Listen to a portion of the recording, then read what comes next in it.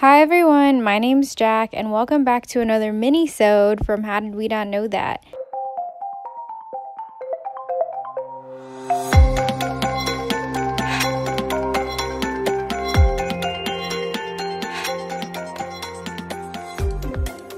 The other day, my friend and I were having a discussion on Alaska, and she mentioned something called the Iditarod. And I had never heard of the Iditarod until that moment, and she was so shocked that I didn't know what that was that I decided I would cover it for a mini-sode.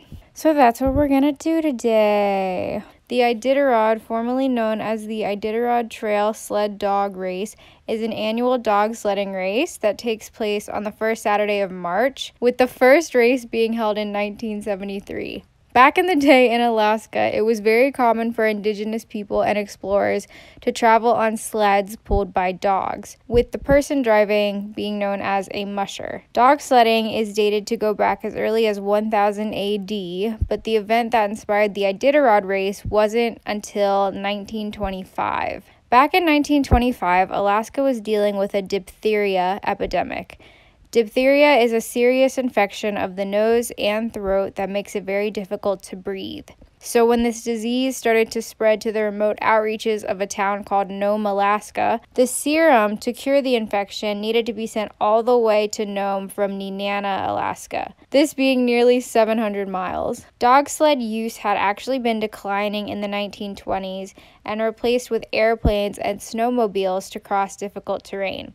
However, when no capable pilot was available to fly the serum through a blizzard, a team of mushers rushed the serum to Nome through the storm. This historical event became known as the 1925 Serum Run to Nome or the Great Race of Mercy. Around 50 years later, Joe Redington Sr. and Dorothy Page decided to organize a race to honor the Alaskan tradition of dog sledding and commemorate the 1925 Diphtheria Serum Run. This race is what we know today as the Iditarod, and it is named after the Iditarod Trail, which was historically used by Native Alaskans. There are actually two different Iditarod courses that alternate every year for the modern day race. Both terrains, however, are tough and they pass through hilly terrains, swamps, frozen rivers, and thick forests, and the weather conditions can be brutal. Temperatures can range from 50 degrees Fahrenheit above zero to 60 degrees Fahrenheit below zero. That's about negative 51 to 10 degrees Celsius. All of these challenges, in addition to occasional chilling winds and blinding snow, make it a very, very challenging race. There are roughly 27 checkpoints along the route where mushers can stop and rest. Some are in tiny towns and villages, while others are just a simple tent or cabin. Since the 1990s, there has always been a ceremonial start to the race in Anchorage, Alaska, followed by the official start of the race the next day. The total length of the race is over 1,000 miles or 1,609 kilometers. Anyone wanting to compete in the Iditarod must be 18 years old, have competed in specific qualifying races, and pay a hefty entrance fee of $3,000. The dogs in the race are usually a mixed breed called Alaskan Husky, not to be confused with the purebred Siberian Husky or Alaskan Malamute. Alaskan Huskies are bred specifically for their speed and endurance, and the most intelligent and fastest dogs are picked to lead the rest of the dogs by running in front of the pack. Behind them in the lineup are swing dogs, and those dogs direct the team around turns and curves. And at the back of the dog team are known as the wheel dogs. Wheel dogs run right in front of the sled and are usually the largest and strongest of the team. The rest of the dogs are just known as team dogs for a maximum of 16 dogs per team. Each team must have 12 to 16 dogs at the race's start, and at the end of the race, at least six of those dogs must be part of the team that crosses the finish line. These dogs have been trained to run long distances and they may cover up to 3,000 miles in their course training preparing for the race. Sled dogs also need to eat around 10,000 calories a day, which is roughly 2,000 pounds of food to feed the entire team during the Iditarod. They will also wear little fabric booties to protect their feet from the harsh elements during the race. The mushers, or the people driving the sled, must have very strong mental stamina. They have to carry their supplies with them on the trail, such as a sleeping bag, an axe, snowshoes, a cooking pot, ski poles, a gun, a headlamp, and food. They sleep very little as they push themselves to stay awake to make quicker times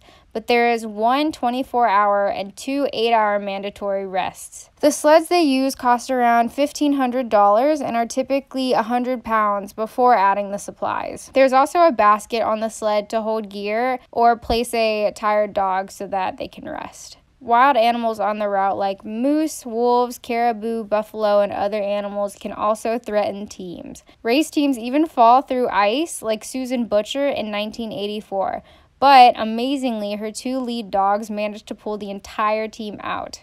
So these dogs obviously work incredibly hard during this race, and to ensure their well being, around 37 veterinarians tend to them during the race. Each dog has to pass pre race exams before they can compete. Unfortunately, overexertion leads to death for some of the race dogs and lots of medical problems like foot injuries, dehydration, viruses, ulcers, hyperthermia, and heart problems. Teams of dogs can suddenly get into dog fights and be strangled if they get tangled up in the harnesses. Dogs can also sometimes break free from the harness and get lost. This is why there are mandatory rests for the competitors, but where and when they choose to take that break is up to the competitor. The race takes place over 8 to 15 days, with the fastest record for finishing being 8 days, 3 hours, 40 minutes, and 13 seconds. As you may have guessed, the race has grown in popularity over the years and also criticism from animal rights activist groups.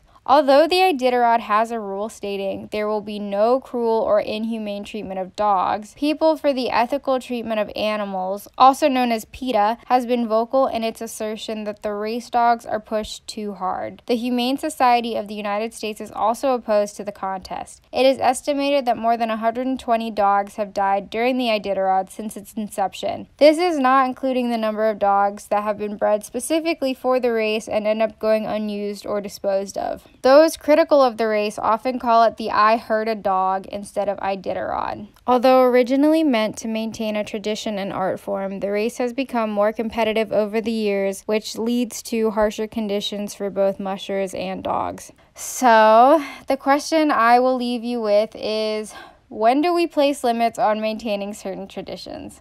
Tweet us at HDWNKT with your thoughts. Thanks for listening. This has been an episode of How Did We Not Know That? If you liked it, don't forget to subscribe to us on Apple Podcasts, Spotify, or wherever you get your podcasts from. You can also follow us on all social media, including YouTube, at How Did We Not Know That? If you thought our podcast was low quality, we know. We thought so too. Help us improve the podcast by contributing to our Patreon. Thank you for listening and see you guys next week.